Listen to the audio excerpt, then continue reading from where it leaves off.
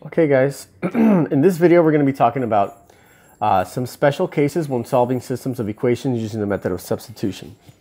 So there are a few special cases uh, when using substitution to solve systems of equations. If you remember on uh, my last video, the solving systems of equations with substitution, um, you could always use substitution if you have one of the variables already solved for and plug that into the other equation to be able to solve for the other variable. So you have one equation, one variable. For example, if we do that method of substitution here, so we have y is equal to 3x minus 4, we're going to plug that expression for y into the other equation. So if we rewrite 3y is equal to 9x plus 6, but rather than the y, we're going to replace that y with the expression for y, which is 3x minus 4. So I'm going to plug in here 3x minus 4, or I should say substitute 3x minus 4 uh, into this equation so I can figure out what is the value of x. Now, something weird happens when I solve this. So this becomes a 9x minus 12 is equal to 9x plus 6. So when I try to solve for x, I subtract 9x on both sides, right? No, so minus 9x minus 9x, and then this goes away. So the variable goes away. Everything goes away. All we're left with is this equation, negative 12 is equal to 6. Now, if you stop and think about that, that equation makes absolutely no sense. Like, how is negative 12 going to be equal to 6? So this is a scenario in which when you have a system of equation with no solution.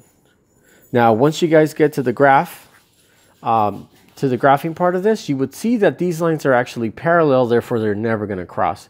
So when you have a solution to a system, that means that that's the place where the lines cross. If you have no solution, that means that these lines actually never cross because they have the same slope and they start at different y-intercepts. So that's one special case. So no solution. Um, let's have another special case in this sense. So we have another example, uh, y is equal to 2x plus 5, and then 6y uh, minus 12x is equal to 30. So same idea, so same process. We're get, we have the y by itself on one side, right? So y is equal to 2x plus 5.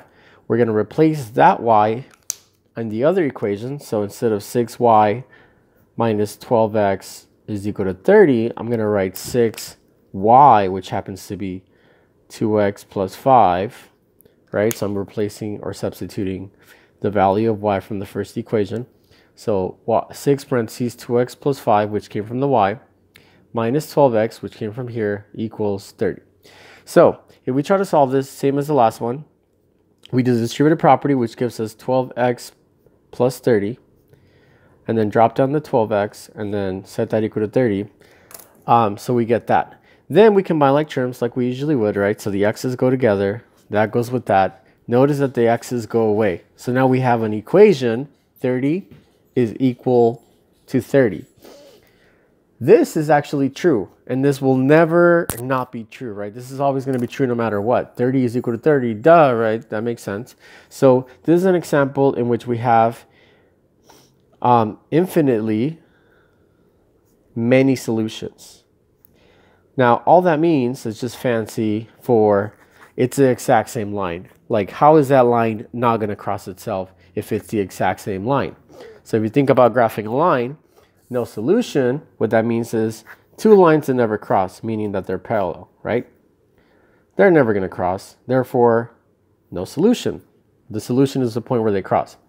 Now, if you have infinitely many solutions, all that means is it's the exact same line. So if I graph a line and then I graph the exact same line on top of it, how many times is this line going to touch? Well, it's always going to touch. Therefore, it's infinitely many solutions. So those are the special cases for solving systems of equations with substitution. I hope that kind of clears some stuff up for some of these examples.